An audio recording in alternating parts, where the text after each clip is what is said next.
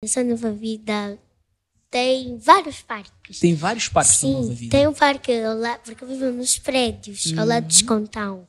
E tem, e tem, uns, tem um parque perto da minha casa, eu vou lá às vezes. Também perto da minha escola. Hum. Tem, um, tem vários parques. Tem vários parques. E é muito divertido. Eu acho que é bom viver neste município. Só que. Gostas de lá estar, gostas de viver. Gosto, mas nas estradas eh, tem muitos buracos. Ah, a estrada tem muitos buracos, Algumas, né? Gostarias que, gostarias que existissem menos buracos no Nova Vida Sim. ou nos caminhos que dão ao Nova Vida. Além dos buracos, o que é que há no Nova Vida e tu, que, que, que tu gostarias de mudar?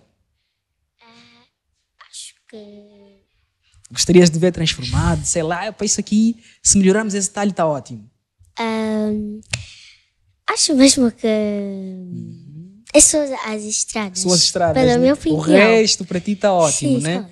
Suyara, então, onde é que vives? Gostas de lá estar? Eu vivo nas, nas Ingomotas, frente à Embaixada Portuguesa. Ok. E gostas da imagem que essa região tem? Sim, Tem gosto. parques para se divertir?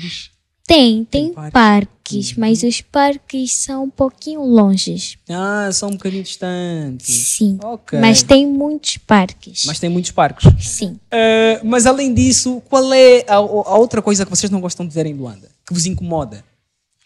São, ah, na minha opinião, Sim, sim, mais ao microfone, por favor. na minha opinião, o que eu não gosto de ver em Luanda são as pessoas que ficam na rua. Ah, as pessoas que ficam na rua. Sim, são as pessoas que ficam na rua, aquelas pessoas que pedem comida na rua, coisas, coisas desse gênero. Não gosto.